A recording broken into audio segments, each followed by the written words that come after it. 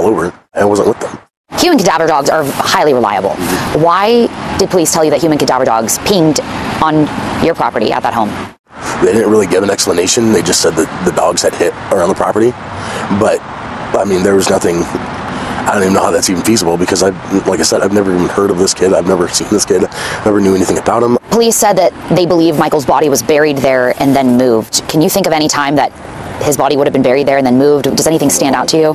Not at all. They were saying that he was buried by the shed. Um, makes no absolutely no sense. I don't, there's there's been no dig marks. That there's no trench marks. There's nothing. Um, the ground was completely a complete grassed area. Could it have happened when you weren't around and it was potentially covered up?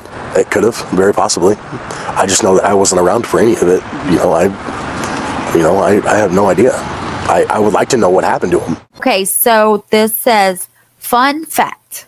Cadaver dogs are right 97% of the time and can detect scents up to 15 feet below the ground.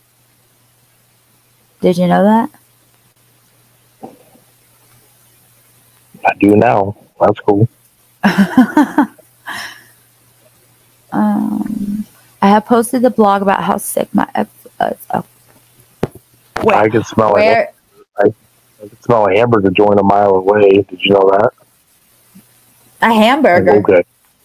I'm sure you can. Burger, a burger joint. Oh no.